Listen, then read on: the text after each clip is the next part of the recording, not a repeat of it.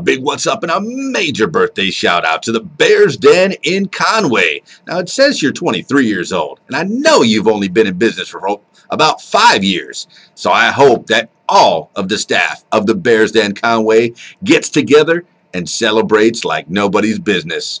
It's Halloween and it's your birthday. Make it the best one ever. Joel Pal Keys Dan from RadioWhat.com saying what's up. Party on. I'm out of here.